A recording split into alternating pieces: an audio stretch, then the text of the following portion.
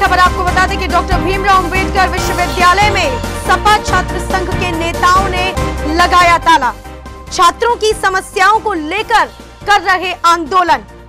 आपको एक बार फिर बता दें कि इस वक्त की बड़ी खबर, डॉक्टर भीमराव अंबेडकर विश्वविद्यालय में सपा छात्र संघ के नेताओं ने ताला लगा दिया है। और यह ताला उन्होंने छात्रों की समस्याओं को लेकर लगाया है और लगातार आंदोलन कर रहे हैं। आपको बता दें कि विश्वविद्यालय के दो गेटों पर सपा छात्र संघ के नेताओं ने ताला लगा दिया है। यह ताला छात्रों की समस्याओं को लेकर लगाया गया है। लगातार सपा छात्र संघ के नेता आंदोलन कर रहे हैं छात्रों की समस्या को लेकर।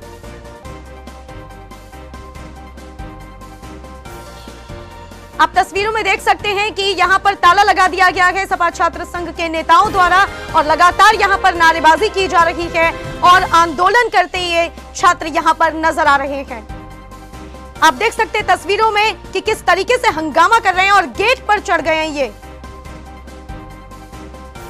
ज़्यादा जानकारी के लिए हम जुड़ रहे हैं हमारे संवाददाता लक्ष्मी राज के साथ। तो लक्ष्मी, बताइए कि क्या है ये पूरा मामला? क्यों इन्होंने यहाँ पर ताला लगाया है? अंजलि मैं आपको बता दूँ कि विश्वविद्यालय जितना पुराना है उससे कहीं ज़्यादा जो विश्वविद्यालय की छात्रों की समस्या है कभी मार्कशीट ना आना कभी डिग्री नहीं जी आना जी। कभी रिज़ल्ट वक्त से ना आना कभी किसी मार्कशीट में मतलब किसी मार्क्स का ना आना। तो ये सब समस्याएँ बड़ी आम हो गई हैं और लोग जो है इसी के शिकार जब होते हैं तब वो यहाँ पर आते हैं और उनकी समस्या का जब बात आती है कि आप जो समझ सकती हैं जब भी किसी सरकारी विभाग में किसी आप काम के लिए जाएँ तो किस तरह काम किए जाते हैं? क्योंकि एक काम को एक एक साल दो दो साल और कुछ कुछ तो ऐसे मामले हैं विश्वविद्यालय में जो जी। 25 25 इक्कीस साल से पड़े हुए हैं वो आज ऐसे की ऐसे ही पड़े हुए हैं। इसी इसी बात को ध्यान में रखते हुए जो छात्र संघ जो अलग अलग छात्र संघ हैं चाहे उसका सपा का हो चाहे कांग्रेस का हो जो अलग अलग छात्र संगठन है वो लगातार यहाँ पर धरना प्रदर्शन करते रहते हैं और लोग और जो विश्वविद्यालय के जो प्रशासन है उसको जगाते रहते हैं कि कि आपके द्वारा ये काम नहीं हो पा रहा है या आप इस तरह से काम करें छात्रों को समस्याएँ हो रही हैं। तो क्योंकि इसको लेके आज सपा के जो कुछ छात्र नेता हैं वो लगातार यहाँ पर धरना प्रदर्शन कर रहे हैं जो विश्वविद्यालय के जो दो जो मेन गेट है उन पर ताला लगा दिया है। एक विश्वविद्यालय की जो वीसी जिस गेट गेट से प्रवेश करती है उसमें ताला लगा दिया। दूसरा जिससे जो छात्र जो जिससे एंटर होते हैं उसमें ताला लगा दिया है। कुल मिलाकर जो लोग अंदर हैं वो अंदर हैं और कुछ लोग जो बाहर हैं बाहर हैं। इस तरह की अभी स्थिति यहाँ पर बनी हुई है जो। जी लक्ष्मी ये बताइए कि जैसे कि यहाँ पर इन्होंने दो गेटों पर ताला लगा दिया है तो क्या और आगे भी इस तरीके से यह जारी रहेगा? क्योंकि इस ताले लगने से जो व्यवस्था है बाकी की वो पूरी तरीके से चरमरा गई होंगी। तो ये लगातार आंदोलन करते रहेंगे। कब तक आंदोलन करेंगे? कब तक ये आंदोलन का जारी रहेगा? मैं अंजलि आपको बता दूँ कि जो अभी कुछ कुछ देर पहले ही जो छोटे जो विश्वविद्यालय के जो बड़े गेटों पर तो ताला लगाया जो छोटे जो। गेट होते हैं उन पे ताला नहीं लगाया तो उसमें से कुछ लोग अंदर बाहर तो हो रहे हैं लगातार हो रहे हैं और जो छात्र जो संघ के जो नेता हैं वो बाहर गेट पर बैठ गए हैं और वो जब से ताला लगा और तभी से वहीं बैठे हैं, उनकी मांगे हैं कि जो विश्वविद्यालय की जो कुलपति वो बाहर निकल के आए, उनसे वार्तालाप करें कि उनकी जो छात्रों की समस्या सुने और उनको वो ज्ञापन दें कि इसके ज़रिए कि छात्रों की समस्या जल्द से जल्द जो है मतलब समाप्त हो। एक मामला आपको मैं बता दूँ, जब विश्वविद्यालय की अभी बात हो रही, पिछले साल उपराष्ट्रपति के लिए एक कमला नगर के बुज़ुर्ग थे, उन्होंने आवेदन करना चाहा था, पर उनका आवेदन के लिए उनके पास मार्कशीट नहीं थी। मतलब उनको पैंतीस चालीस साल पहले यहाँ से ग्रेजुएशन उन्होंने की थी उसके लिए वो मार्कशीट मांग रहे थे डिग्री मांग रहे थे। उनको भी आज तक जो है डिग्री और जो है मार्कशीट नहीं मिली। मतलब पैंतालीस जो है तीस से पैंतीस साल पुराना मामले में भी आप देखिए इस तरह की जो मामला है वो सामने आया था कि और लगातार जो समस्याएँ लगातार बढ़ती चली आई मैं जी आपको बता दूँ विश्वविद्यालय ने कोविड के टाइम पे एक नई एक कार्य प्रणाली शुरू की थी उसमें कहा गया था।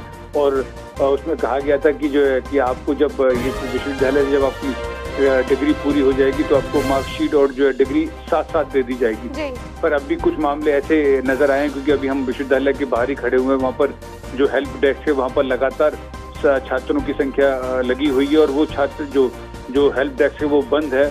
जो कुछ छात्र मायूस होकर बाहर लौट के जा रहे हैं क्योंकि उनको उनकी समस्या का समाधान नहीं हो रहा है कोई एटा से आया कोई मैनपुरी से आया क्योंकि अलग अलग जिलों से छात्र यहाँ पर आते हैं अपनी समस्याओं लेके क्योंकि विश्वविद्यालय में आगरा ही नहीं आगरा के आसपास के कई ज़िले हैं जहाँ पर विश्वविद्यालय संबंधित जो कॉलेज वहाँ संचालित होते हैं और वो छात्र समस्या लेके यहाँ पे आते हैं उन्हें यहाँ पर छात्रों की समस्या का जो है समाधान नज़र नज़र नहीं आ हो पा रहा उनका। जी जी।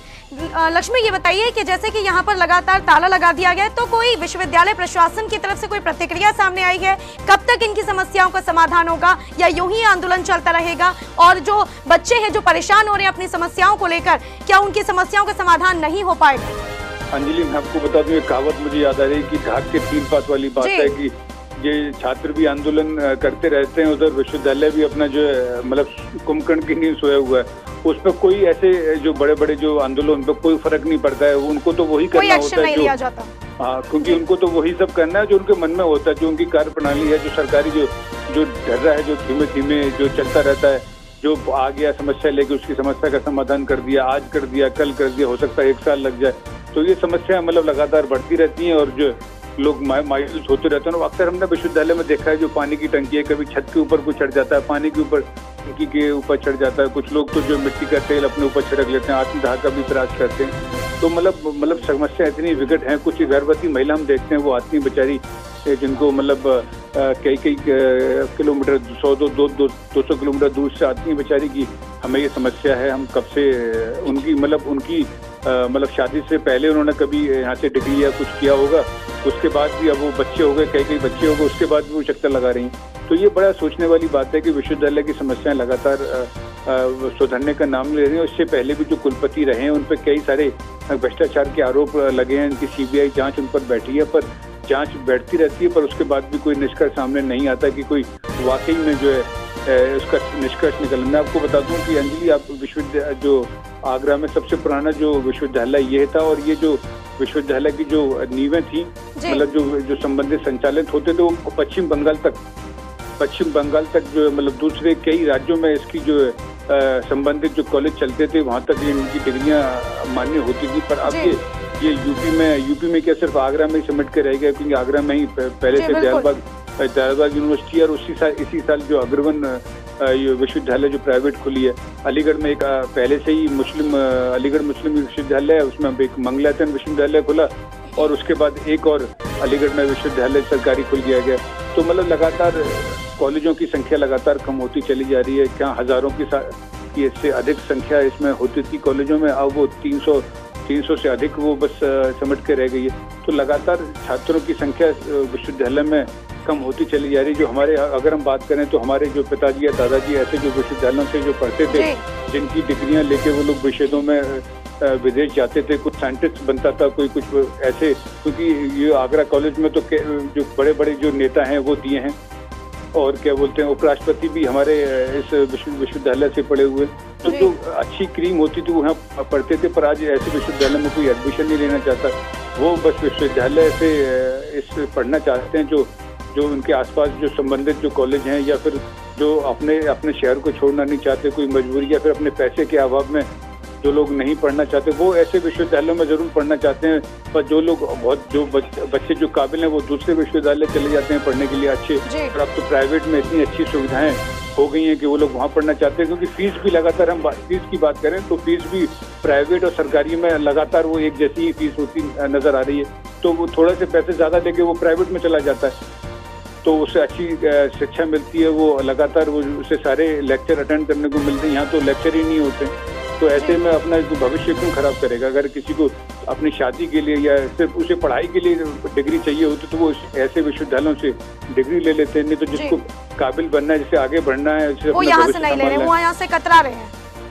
कतराते हैं मतलब आज भी हम भी हमसे भी पूछता है तो भैया क्या करें इस विश्वविद्यालय का जो कितनी समस्या है कैसे इसमें एडमिशन लें? तो लोग सोचते हैं कि लें फिर उसको डिग्री डिग्री के लिए चक्कर उन्हें काटने पड़ते हैं। आपने तीन साल में अपनी कोई ग्रेजुएशन तो कर ली पर आपको डिग्री आपको दस साल हो गए। तो आपकी डिग्री किस काम की है? अगर आप नौकरी नौकरी भी लगती है तो नौकरी के लिए भी जब आप आवेदन करते हैं उसमें क्रॉस वेरिफिकेशन होता है उसके लिए भी ये कई कई महीने लगा देते हैं।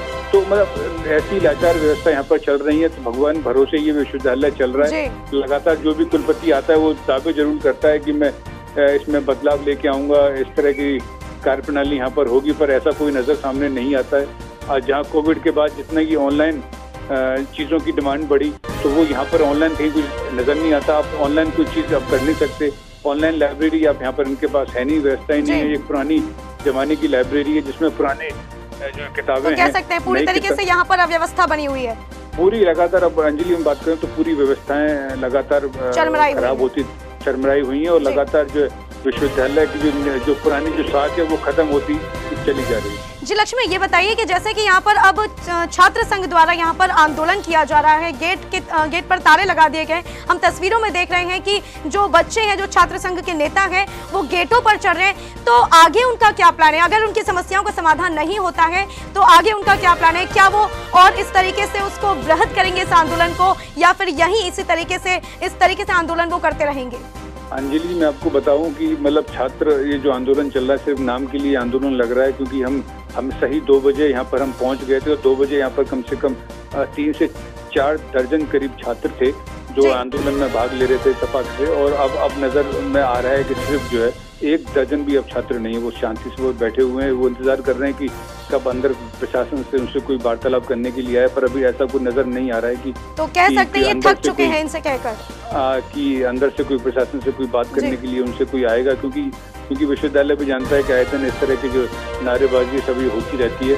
और कुछ देर पहले यहाँ पर पुलिस भी आई थी। पुलिस के नाम पर सिर्फ़ एक पुलिस वाला एक सिपाही यहाँ पर आया था कि कि वो देखने के लिए कोई मतलब तोड़ फोड़ या ऐसे कोई कोई समस्या या फिर ऐसी कोई हो, हो नहीं सकती पर उसको बस वो सिर्फ़ एक मॉनिटरिंग के तौर पर वो आए थे पर उसके बाद भी वो भी यहाँ से लौट गए बोले कि मामला ऐसा कोई बड़ा मामला नहीं और वो यहाँ से चले गए। छात्र जो कुछ लोग ज़रूर अभी बैठे हुए हैं कुछ अभी कि कब अंदर से कोई निकल के उनसे कोई बात करे कि ये आंदोलन कैसे आगे हो जाएगा किया जाएगा जी। जी लक्ष्मी बहुत बहुत धन्यवाद ये हमारे साथ चर्चा के लिए और हमें इतनी जानकारी देने के तो आपको एक बार फिर बता दें कि सपा छात्र संघ द्वारा यहाँ पर आंदोलन किया जा रहा है विश्वविद्यालय, यानी कि अंबेडकर विश्वविद्यालय के गेट पर इन्होंने ताला लगा दिया है और छात्रों की समस्याओं को लेकर यह आंदोलन कर रहे हैं। और विश्वविद्यालय में जो व्यवस्थाएँ चरमराई हुई हैं, उसको लेकर लगातार आंदोलन कर रहे हैं। लेकिन एक बात इसमें यह भी सामने आ रही है कि जो छात्र संघ के नेता हैं, वे थक चुके हैं।